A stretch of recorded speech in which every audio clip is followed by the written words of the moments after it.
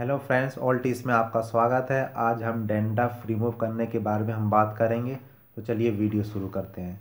तो आप देख सकते हैं, ये है नो स्कॉर्फ लोशन जो डेंडफ के लिए है। बहुत ही इफ़ेक्टिव है ये और इसे आप यूज़ कर सकते हैं और ये आपको इजीली मेडिकल शॉप में मिल जाएगा। तो मैं सबसे पहले इसकी एमआरपी आपको मैं बता देता हूँ।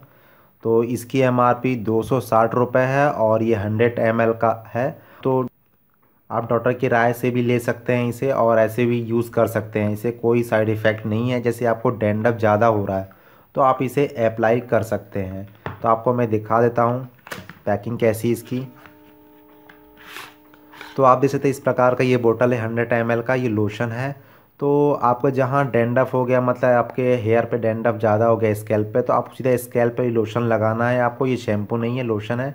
तो आपको वहाँ अप्लाई डायरेक्ट करना है, उसको और आपको पंद्रह से बीस मिनट आपको स्केल पर रखना है, फिर आपको वॉश कर लेना है। तो आपको हफ़्ते में दो बार इसे यूज़ करें तो इसका रिज़ल्ट बहुत अच्छा है तो आप इसे यूज़ कर सकते हैं और इससे कोई साइड इफ़ेक्ट नहीं है। और मैं आपको, मैं ये बात बता दूँ कि जैसे आपका हेयर फॉल हो रहा है और डेंडर भी है तो ये आपके लिए बेस्ट रिज़ल्ट अच्छा नहीं रहेगा मेरे हिसाब से, क्योंकि ये केमिकल के रहते हैं तो आपके जो रूट वैसे ही कमज़ोर है और कमज़ोर कर देगा, आप लगाएँगे स्केल पे। तो मेरे हिसाब से आप इसे यूज़ ना करें। सीधा आपको डेंडफ है तो इस इस लोशन का यूज़ करें।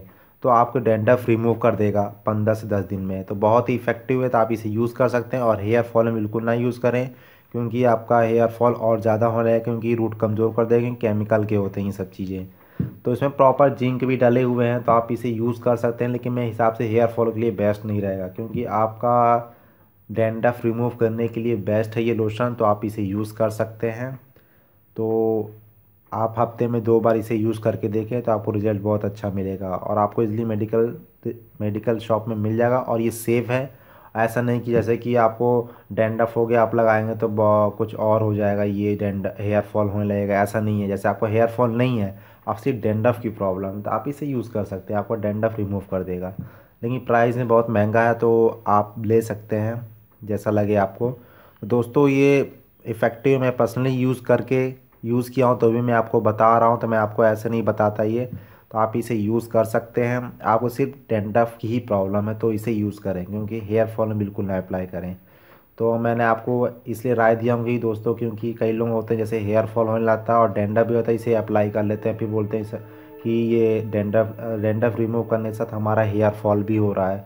तो ज़्यादा होने लगा था, इसलिए दिक्कत हो जाती है। इसलिए पहले ही आपको मैं बता दे रहा हूँ क्योंकि ये सिर्फ़ डेंडफ के लिए है, हेयर फॉल कंट्रोल के लिए नहीं है। तो आप इसे यूज़ कर लीजिए। जैसे आपका डेंडफ रिमूव हुआ तो हेयर फॉल भी ठीक हो जाएगा। तो आपको सिर्फ़ डेंडफ की प्रॉब्लम था ईचिंग की प्रॉब्लम तो आप इसे यूज़ कर सकते हैं। बहुत ही इफ़ेक्टिव है दोस्तों। तो दोस्तों, आशा करता हूँ आपको ये वीडियो अच्छा लगा हो तो लाइक, शेयर ज़रूर करें और कमेंट करना बिल्कुल ना भूलें दोस्तों। और आपको कोई प्रॉब्लम, हेयर हेयर फॉल से प्रॉब्लम है तो आप इस, हमें इस वीडियो पर कमेंट करके बता सकते हैं। तो मैं इसका सोल्यूशन ज़रूर बताऊँगा दोस्तों। तो आशा करता हूँ दोस्तों आपको वीडियो अच्छा लगा हो तो लाइक, शेयर ज़रूर करें। Thank you very much.